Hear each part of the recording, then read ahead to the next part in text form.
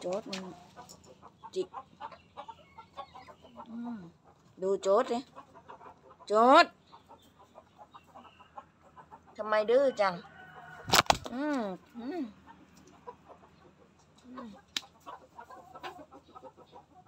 ดูดิทำอะไรให้โจ๊ดอะ อืมอืมอืม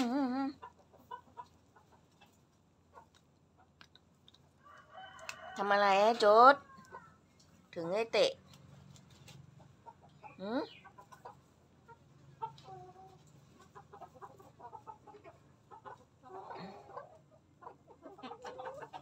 โจ๊ดนี่มันดื้อมาก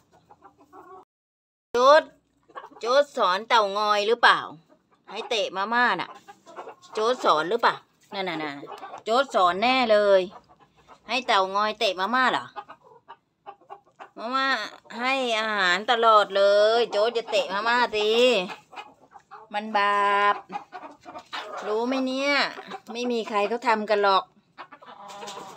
มันบาปรู้ไหมฮะโจ๊ดนั่นน่ะนะโอ้โห